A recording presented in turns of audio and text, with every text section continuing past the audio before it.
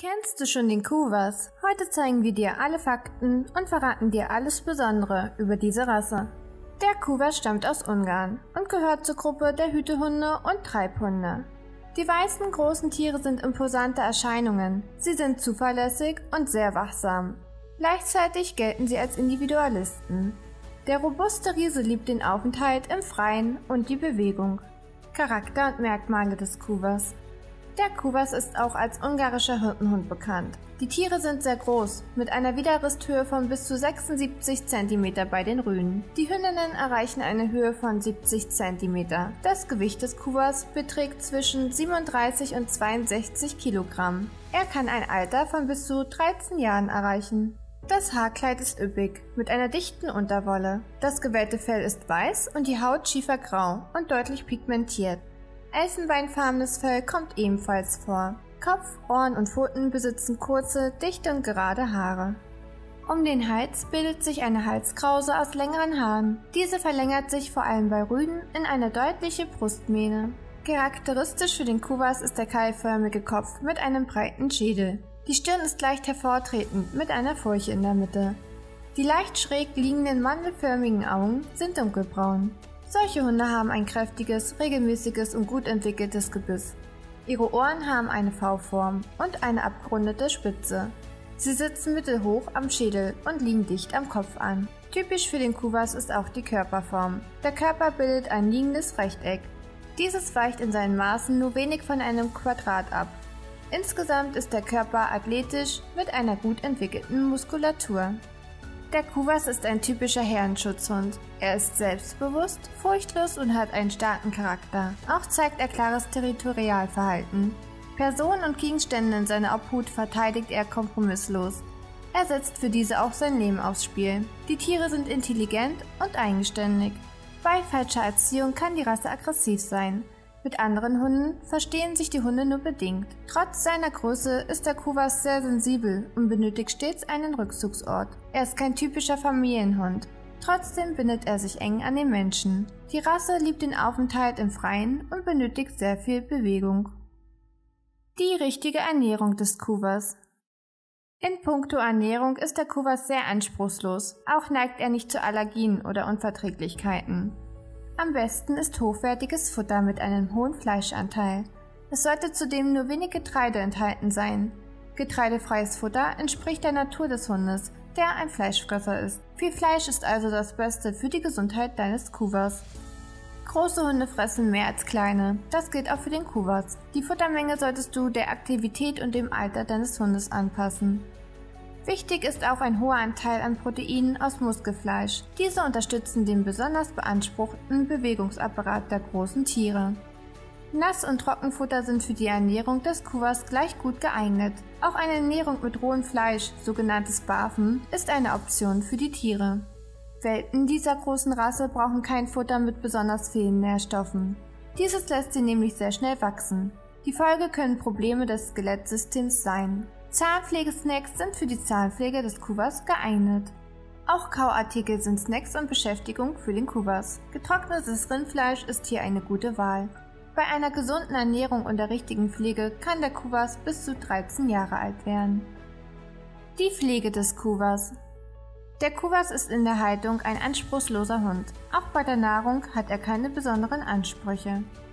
Trotzdem ist ein Kuwas kein Hund für Anfänger. Er benötigt von Anfang an eine sehr konsequente Erziehung. Du musst dich auf einen Kuwas wirklich einlassen. Er braucht viel Zuwendung und Beschäftigung. Auch der Besuch einer Hundeschule ist ein Muss. Sein Rangordnungsempfinden ist sehr stark. Du musst ihm stets zeigen, wer der Herr im Haus ist.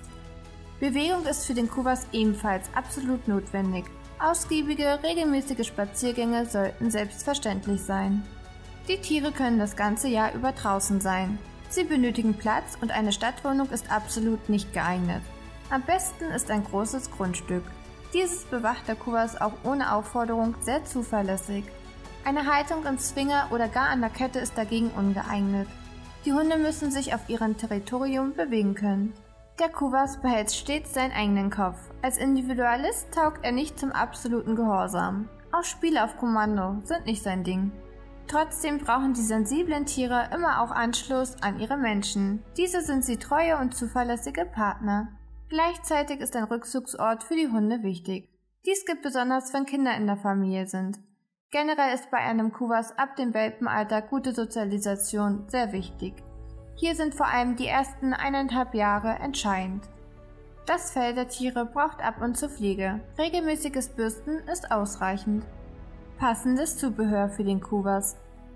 Der Kuwas ist in Haltung und Pflege unkompliziert. Die robusten Tiere brauchen nicht viel Zubehör. Das Halsband muss gut sitzen und zur Größe des Hundes passen. Es darf die empfindliche Halsregion nicht einengen. Gebräuchlich sind Halsbänder aus Kunststoffen oder aus Leder. Leinen gibt es ebenfalls aus diesen Materialien. Für den Alltag reicht eine kurze Leine zwischen 2 und 3 Metern Länge. Auf längeren Spaziergängen kann die Leine auch etwas länger sein. Sehr lange Schleppleinen eignen sich für das Hundetraining. Näpfe für Futter und Wasser müssen für den Kuwas die richtige Größe haben. Praktisch sind auch ein Napfgestell oder rutschfeste Unterseiten. So bewegen sich die Näpfe nicht hin und her. Gerne gewähltes Material ist Edelstahl. Es lässt sich gut reinigen und ist sehr langlebig. Weitere Materialien für Näpfe sind Kunststoff oder Keramik.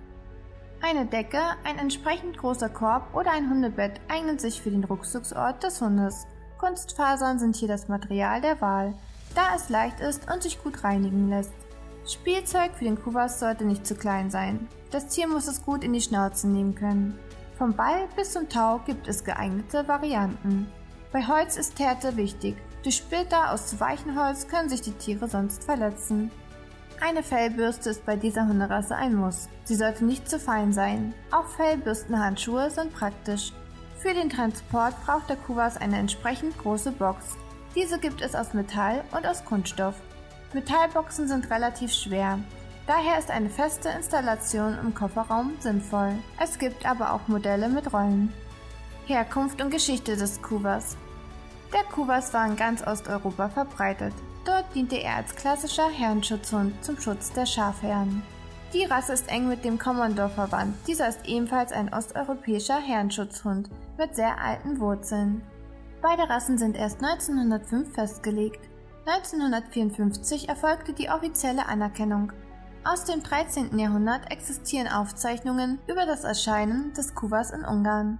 In späteren Jahrhunderten diente die Rasse auch zur Jagd auf Wölfe und Bären.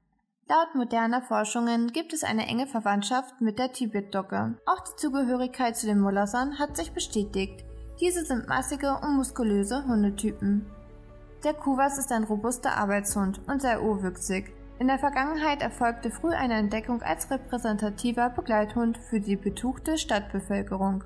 Auch als Wachhund fand er oft Verwendung. Heute ist die Rolle des Begleithundes vorherrschend. Auf diese ist die Rasse durch ihre Vergangenheit besser vorbereitet als viele andere Herrenschutzhunde. In Deutschland ist der Kuwas immer noch ein seltener Hund. Deutlich mehr Tiere sind dagegen in Osteuropa zu finden. Jetzt möchten wir deine Meinung wissen. Hast du selbst einen Kuwas oder wie gefällt dir diese Rasse? Schreib es unten in die Kommentare.